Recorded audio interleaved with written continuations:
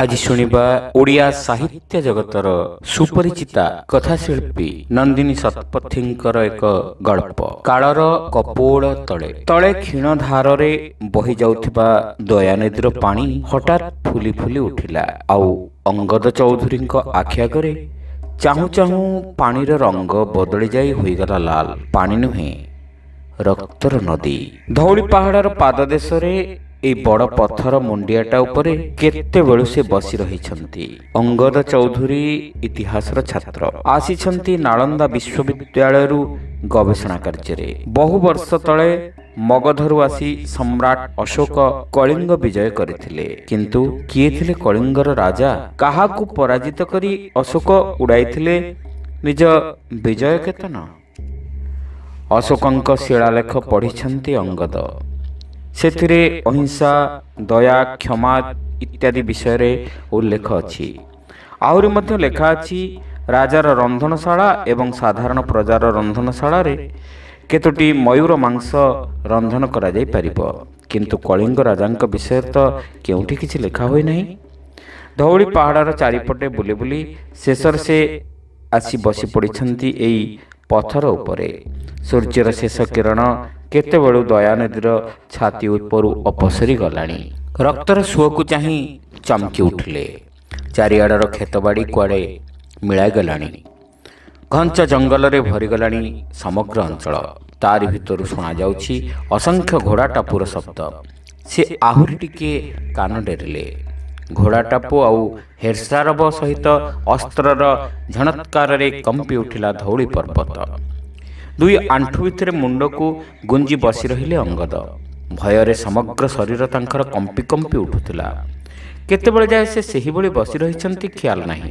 ହଠାତ୍ କାନ୍ଧ ଉପରେ କାହାର ସ୍ପର୍ଶରେ ସେ ଚମକି ପଡ଼ି ମୁଣ୍ଡ ଟେକିଲେ। ସାମ୍ନାରେ ଠିଆ ହୋଇଛନ୍ତି ଜଣେ ଦୀର୍ଘଦେହୀ ପୁରୁଷ। ବେଶ ପୋଷାକରୁ ମନେ ହେଉଛି ରାଜବଂଶର ଲୋକ। ଆଖି ଦୁଇଟାରେ ଅସାମାନ୍ୟ ଦୀପ୍ତି। ଗୋଟିଏ ଅଭୟ ହାତ ସେ ବଢ଼ାଇ ଦେଉଛନ୍ତି ଅଙ୍ଗଦଙ୍କ ଆଡ଼କୁ ହଠାତ୍ ଅଙ୍ଗଦଙ୍କର ଯେପରି ସବୁ ଭୟ ଦୂର ହୋଇଗଲା ସେ ସେହି ପ୍ରସାରିତ ହାତ ଦୁଇଟିକୁ ଧରି ଠିଆ ହୋଇପଡ଼ି ପଚାରିଲେ ଆପଣ କ'ଣ କଳିଙ୍ଗର ମହାରାଜା? ନା ମୋ ସହିତ ଆସ। ତୁମକୁ ମୁଁ ନେଇଯିବି କଳିଙ୍ଗର ମହାରାଜାଙ୍କ ପାଖକୁ। ନିମନ୍ତ୍ରଣ ନୁହେଁ ଆଦେଶ ଭଳି ଶୁଣାଗଲା ସେ ଗମ୍ଭୀର ସ୍ୱର। ଏବଂ ମନ୍ତ୍ର ଚାଳିତବତ୍ ଅଙ୍ଗଦ ଅନୁସରଣ କଲେ ସେହି ଦୀର୍ଘଦେହୀଙ୍କୁ କିନ୍ତୁ ତାଙ୍କ ଗତି ସହିତ ତାଳ ପକାଇ ଚାଲିବା ସହଜ ନଥିଲା। ଅଟକି ଯାଉଥିଲେ ଅଙ୍ଗଦ ମଝିରେ ମଝିରେ। ଥରେ ମାତ୍ର ପଛରୁ କହି ଉଠିଲେ ଆପଣଙ୍କ ସହିତ ଚାଲିବା ତ ଭାରି କଷ୍ଟ ଦୟାକରି ଗତି ଟିକେ ଶିଥିଳ କରନ୍ତୁ। ମୁହୂର୍ତ୍ତକ ପାଇଁ ମଧ୍ୟ ପଛକୁ ନ ଚାହିଁ କହିଲେ ମୁଁ ତ ଦୁନିଆରେ ସବୁଠାରୁ ଶୀଘ୍ର ଚାଲେ। କଳିଙ୍ଗ ରାଜପ୍ରାସାଦର ଦରବାର କକ୍ଷ ନିକଟରେ ପହଞ୍ଚାଇ ଦେଇ କେଉଁଆଡ଼େ ଚାଲିଗଲେ ସେହି ବ୍ୟକ୍ତି। ଅଙ୍ଗଦ ଦେଖିଲେ ମହାରାଣୀ କୁରୁବକି ଧୀରେ ଧୀରେ ଓହ୍ଲାଇ ଆସୁଛନ୍ତି ପାହାଚ ପରେ ପାହାଚ ଅତିକ୍ରମ କରି ଦରବାର କକ୍ଷକୁ। ଦୁଇପଟେ ଦାସ ଦାସୀଗଣ ମୁଣ୍ଡ ନୁଆଇଁ ସମ୍ମାନ ଜଣାଉଛନ୍ତି। ମହାରାଣୀଙ୍କ ପ୍ରବେଶ ମାତ୍ରେ ଦରବାର କକ୍ଷର ସମସ୍ତ ଗୁଞ୍ଜନ ହଠାତ୍ ସ୍ତବ୍ଧ ହୋଇଗଲା। ପାତ୍ର ମନ୍ତ୍ରୀ ପାରିଷଦ ବର୍ଗଙ୍କ ସମେତ ସେନାନାୟକମାନେ ସସମ୍ଭ୍ରମ ଅଭିବାଦନ ଜଣାଇଲେ ମହାରାଣୀଙ୍କୁ। କୁରୁବକି ନିଜେ ଆସନ ଗ୍ରହଣ କରି ଅନ୍ୟମାନଙ୍କୁ ବସିବାକୁ ନିର୍ଦ୍ଦେଶ ଦେଲେ। ଗୃହରେ ଆସିନ ସମସ୍ତଙ୍କ ମୁହଁରେ ଗଭୀର ଉତ୍କଣ୍ଠା। କେହି କାନ ଡେରିଲେ ହୁଏତ ଶୁଣିପାରନ୍ତା କେବଳ ଦ୍ରୁତ ହୃତ୍ସ୍ପନ୍ଦନର ଶବ୍ଦ। ସମସ୍ତ ଉଦ୍ବେଗର ଅବସାନ ଘଟାଇ ମହାରାଣୀ କୁରୁବକି ଘୋଷଣା କଲେ ମହାରାଜାଙ୍କ ଅବସ୍ଥାର କୌଣସି ପରିବର୍ତ୍ତନ ହୋଇନାହିଁ। କିନ୍ତୁ ସେ ଆପଣମାନଙ୍କ ବିଚାର ପାଇଁ ଏକ ବାର୍ତ୍ତା ପଠାଇଛନ୍ତି। କେବଳ ମହାମନ୍ତ୍ରୀ ନିଜ ଆସନରୁ ଉଠି କହିଲେ ଆଜ୍ଞା କରନ୍ତୁ ମହାରାଣୀ କଳିଙ୍ଗ ମହାରାଜଙ୍କର ସମସ୍ତ ଆଦେଶ ଶିରୋଧାର୍ଯ୍ୟ। କୁରୁବକି ଉପସ୍ଥିତ ସମସ୍ତଙ୍କ ଉପରେ ଥରେ ଆଖି ବୁଲାଇ ଆଣିଲେ। ତାପରେ ଧୀରେ ଧୀରେ କହିଲେ ଆମର ଏକମାତ୍ର ଦାୟାଦ ରାଜଜେମା ରାଜେଶ୍ୱରୀଙ୍କୁ ମହାରାଜ ଏ ରାଜ୍ୟର ଦାୟିତ୍ୱ ଅର୍ପଣ କରିବାକୁ ଚାହାନ୍ତି। ତାଙ୍କର ଅନୁପସ୍ଥିତିରେ ବର୍ତ୍ତମାନ ଠାରୁ ସେ ସମସ୍ତ କାର୍ଯ୍ୟ ପରିଚାଳନା କରନ୍ତୁ ବୋଲି ମହାରାଜାଙ୍କର ଇଚ୍ଛା। ଆପଣମାନଙ୍କର କ'ଣ ଏଥିରେ ସମ୍ମତ ଅଛି? ଇଏ କି ଅଦ୍ଭୁତ କଥା! ରାଜା ନିଜର ଉତ୍ତରାଧିକାରୀ ମନୋନୀତ କରିବେ ଇଏ ତ ଗଣତନ୍ତ୍ରର ନିୟମ। ଏଠି ପୁଣି ପାତ୍ର ମନ୍ତ୍ରୀ ସଭାସଦମାନଙ୍କର ସମ୍ମତିର ପ୍ରଶ୍ନ ଉଠୁଛି କି କୁଆଡ଼ୁ? ସଭାସଦମାନଙ୍କ ମଧ୍ୟରେ କେତେକଙ୍କ ମୁହଁର ରେଖା ହଠାତ୍ କଠିନ ହୋଇଗଲା। କିନ୍ତୁ ମହାମନ୍ତ୍ରୀ ଓ ଅନ୍ୟମାନେ ଏହି ପ୍ରସ୍ତାବକୁ ଅତି ଆଦରରେ ଗ୍ରହଣ କରି ନେଇ କହିଲେ ଏ ତ ଖୁବ୍ ଆନନ୍ଦର କଥା। ପୁତ୍ର ଭଳି କନ୍ୟାକୁ ମଧ୍ୟ ରାଜସିଂହାସନ ପ୍ରଦାନ କରିବାର ପରମ୍ପରା ଏ ରାଜ୍ୟରେ ରହିଛି। ପୁଣି ବୁଦ୍ଧି ବୀରତ୍ୱରେ ରାଜଜେମା ତ କୌଣସି ରାଜପୁତ୍ରଙ୍କଠାରୁ ଉଣା ନୁହନ୍ତି। ସମସ୍ତଙ୍କ ଅନୁରୋଧ କ୍ରମେ ସପତି ରାଜଜେମା ରାଜେଶ୍ୱରୀ ଦରବାର କକ୍ଷକୁ ଆସିଲେ। ସଭାସଦମାନଙ୍କୁ ଅଭିବାଦନ କରି ବସିବା ପରେ ସେ କହିଲେ ପିତାଙ୍କର ଇଚ୍ଛାକୁ ଆପଣମାନେ ସ୍ୱୀକାର କରିଛନ୍ତି। ସେଥିପାଇଁ ମୁଁ କୃତଜ୍ଞ। କିନ୍ତୁ ଆପଣମାନେ ତ ଜାଣନ୍ତି ମୁଁ ଜଣେ ସାଧାରଣ ନାରୀ। ରାଜ ପରିବାରରେ ଜନ୍ମ ହୋଇଛି ସତ କିନ୍ତୁ ରାଜକାର୍ଯ୍ୟ ପରିଚାଳନା କରିବା ସମ୍ପର୍କରେ ମୋର କୌଣସି ଅଭିଜ୍ଞତା ନାହିଁ। ଏ କାର୍ଯ୍ୟ ମୁଁ ଠିକ୍ ଭାବରେ ତୁଲାଇ ପାରିବି ବୋଲି କ'ଣ ଆପଣମାନେ ବିଶ୍ୱାସ କରୁଛନ୍ତି? ଯେଉଁମାନେ ନୀରବ ରହିଥିଲେ ସେମାନଙ୍କ ମଧ୍ୟରୁ ଜଣେ ଠିଆ ହୋଇ କହିଲେ କିନ୍ତୁ ବର୍ତ୍ତମାନ ତ ଖାଲି ସାଧାରଣ ଭାବରେ ରାଜ୍ୟ ଚଳାଇବା ଅବସ୍ଥା ନାହିଁ। ମଗଧ ସମ୍ରାଟ ଅଶୋକ ବିପୁଳ ସୈନ୍ୟବାହିନୀ ଧରି କଳିଙ୍ଗ ଆକ୍ରମଣ କରିଛନ୍ତି। କଳିଙ୍ଗ ଉପକଣ୍ଠରେ ଯୁଦ୍ଧ ଆରମ୍ଭ ହୋଇଗଲାଣି। ଅଚାନକ ଆକ୍ରମଣରେ ଆମର ସୀମାନ୍ତ ବାହିନୀ ସମ୍ପୂର୍ଣ୍ଣ ଧ୍ୱଂସ ହୋଇଯାଇଛି। ବର୍ତ୍ତମାନ ଅତି ଦ୍ରୁତ ଗତିରେ ସେମାନେ ରାଜ୍ୟ ଭିତରକୁ ମାଡ଼ି ଆସୁଛନ୍ତି।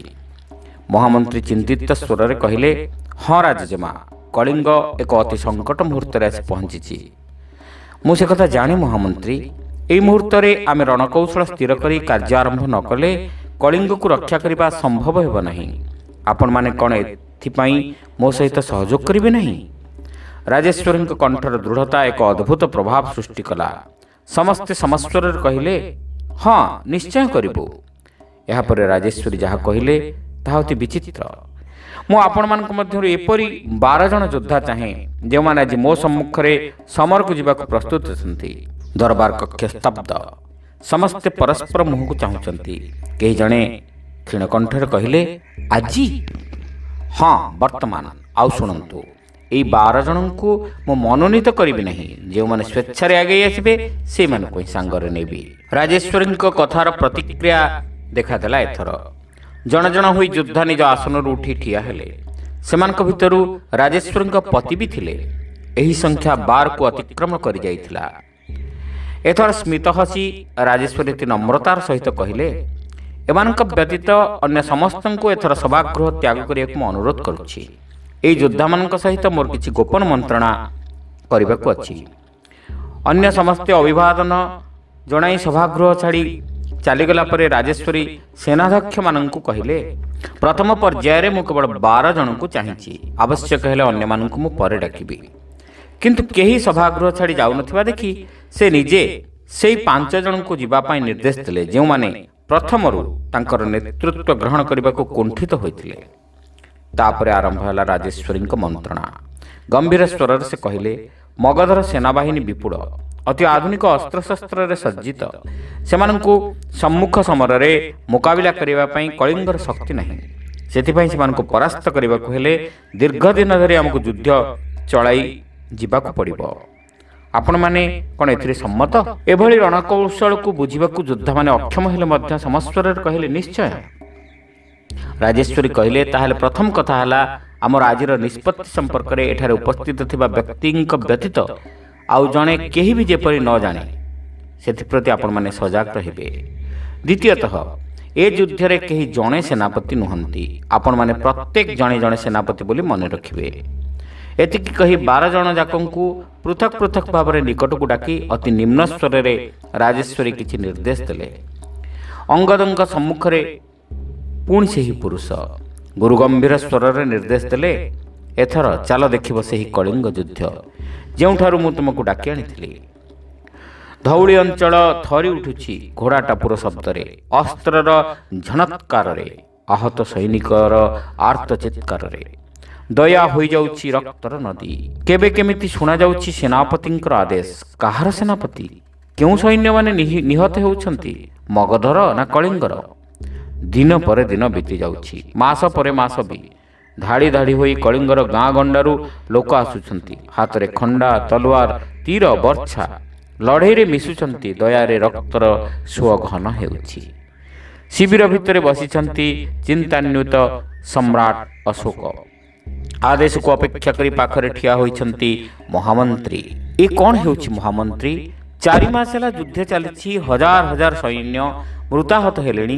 ଆମ ପାଖରୁ ରସଦ ଶେଷ ହେଲାଣି। ଅଥଚ ଆପଣ ତ କହିଥିଲେ କଳିଙ୍ଗକୁ ଜୟ କରିବାକୁ ମାତ୍ର ଦୁଇ ଦିନ ଲାଗିବ। ରୁଗ୍ଣ ମହାରାଜା ଯୁଦ୍ଧ କରିବାକୁ ଅକ୍ଷମ। ସଙ୍ଗେ ସଙ୍ଗେ ଆତ୍ମସମର୍ପଣ କରିବେ। କିନ୍ତୁ ମୁଁ ତ ଯୁଦ୍ଧ ଶେଷ ହେବାର କୌଣସି ଲକ୍ଷଣ ଦେଖୁନାହିଁ। କିଏ ଏ ଯୁଦ୍ଧ ଚଳାଉଛି? ସମ୍ରାଟଙ୍କ ପ୍ରଶ୍ନର ଉତ୍ତର ନଥିଲା ମନ୍ତ୍ରୀଙ୍କ ପାଖରେ। ଅତ୍ୟନ୍ତ ବିଚଳିତ ସ୍ୱରରେ ସେ କହିଲେ ମୁଁ ମଧ୍ୟ ଆଶ୍ଚର୍ଯ୍ୟ ହେଉଛି ମହାରାଜ। କିଏ ଚଳାଉଛି ଏ ଯୁଦ୍ଧ? କେବଳ ସୈନ୍ୟ ନୁହନ୍ତି।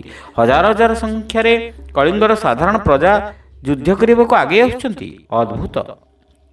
ଅଶୋକ କ୍ଷୁବ୍ଧ ସ୍ୱରରେ କହିଲେ ମୁଁ କଳିଙ୍ଗ ପ୍ରଜାଙ୍କ ପ୍ରଶଂସା ଶୁଣିବାକୁ ଆପଣଙ୍କୁ ଏଠିକି ଡାକି ନାହିଁ। ତୁରନ୍ତ ସସମ୍ମାନରେ ଏ ଯୁଦ୍ଧ ଶେଷ କରିବାର ବ୍ୟବସ୍ଥା କରନ୍ତୁ। ବ୍ୟବସ୍ଥା କରିଛି ମହାରାଜ। ମହାମନ୍ତ୍ରୀ ସମ୍ରାଟଙ୍କ ନିକଟକୁ ଘୁଞ୍ଚି ଆସି ନିମ୍ନ ସ୍ୱରରେ କିଛି କହିବାକୁ ଲାଗିଲେ। ପରଦିନ ପ୍ରତ୍ୟୁଷରେ ସମଗ୍ର କଳିଙ୍ଗ ରାଜ୍ୟରେ ନାଗରା ବାଜିଲା। ଘୋଷଣା କରାଗଲା ମଗଧ ସମ୍ରାଟ ଅଶୋକ ଏ ଯୁଦ୍ଧର ବିଭୀଷିକା ଦେଖି ଅତ୍ୟନ୍ତ ମର୍ମାହତ। ଏହି ନରହତ୍ୟାକୁ ସେ ଆଜିଠାରୁ ବନ୍ଦ କରିବାକୁ ନିଷ୍ପତ୍ତି କଲେ। କେବଳ ଆଜି ନୁହେଁ ଭବିଷ୍ୟତରେ ମଧ୍ୟ ସମ୍ରାଟ ଅଶୋକ ଆଉ ଯୁଦ୍ଧ କରିବେ ନାହିଁ। ସେ ବୁଦ୍ଧଙ୍କର ଅହିଂସା ମନ୍ତ୍ରରେ ଦୀକ୍ଷିତ ହେଲେ। ପ୍ରାୟ ପୁରୁଷ ଶୂନ୍ୟ କଳିଙ୍ଗ ରାଜ୍ୟ ବକ୍ଷରେ ସ୍ତବ୍ଧତା ନଈ ଆସିଲା। ଯୋଦ୍ଧା ବେଶରେ ଅସଂଖ୍ୟ ମୃତ ଓ ଆହତ ସୈନିକଙ୍କ ମଧ୍ୟରେ ଏ ଉଜ୍ଜଳ ମୂର୍ତ୍ତି କିଏ? ଧଉଳିର ଜଙ୍ଗଲ ଭିତରେ ମଗଧ ସେନାପତିଙ୍କ ସହ ପ୍ରଚଣ୍ଡ ଯୁଦ୍ଧ କରି ମୃତ୍ୟୁବରଣ କରିଛି ରାଜେଶ୍ୱରୀ। ସ୍ତମ୍ଭୀଭୂତ ଅଙ୍ଗଦଙ୍କ ସମ୍ମୁଖରେ ପୁଣି ସେହି ଦୀର୍ଘଦେହୀ ଅତ୍ୟନ୍ତ ସାହସ ସଞ୍ଚୟ କରି ଅଙ୍ଗଦ ପଚାରିଲେ କିନ୍ତୁ ଇତିହାସରେ ୟାଙ୍କର ନାଁ ନାହିଁ କାହିଁକି? ତୁମେ କ'ଣ ଜାଣ ନାହିଁ? ଇତିହାସ ବାରମ୍ବାର ପ୍ରମାଣ କରିଦେଇଛି ଯେ ରାଜନୀତିରେ ବ୍ରହ୍ମାସ୍ତ୍ର ହେଉଛି ଷଡ଼ଯନ୍ତ୍ର। ତୁମେ ଖୁବ୍ ବଡ଼ ବୀର ହୋଇଥାଇପାର। କିନ୍ତୁ ଯଦି ସାମ୍ରାଜ୍ୟ ସ୍ଥାପନ କରିପାରି ନାହଁ ତେବେ ଇତିହାସ ତୁମ ନାମ ଉଚ୍ଚସ୍ୱରରେ ପ୍ରଚାର କରିପାରିବ ନାହିଁ। ସାମ୍ରାଜ୍ୟ ରକ୍ଷା କରିବା ପାଇଁ ଅଥବା ବିସ୍ତାର କରିବା ପାଇଁ ତୁମକୁ ଷଡ଼ଯନ୍ତ୍ରର ବ୍ରହ୍ମାସ୍ତ୍ର ବ୍ୟବହାର କରିବାକୁ ହେବ। କଳିଙ୍ଗର ମହାରାଜ ବା ତାଙ୍କ କନ୍ୟା ତ ତାହା କରିପାରିନାହାନ୍ତି। ସେ ଦ୍ରୁତ ପଛକୁ ଫେରି ଚାଲିବାକୁ ଲାଗିଲେ।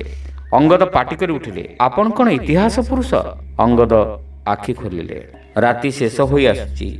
ଶାନ୍ତି ସ୍ତୂପ ଉପରେ ଆକାଶରେ କେବଳ ଗୋଟିଏ ତାରା ଉଜ୍ଜଳ ହୋଇ ଦେଖାଯାଉଛି।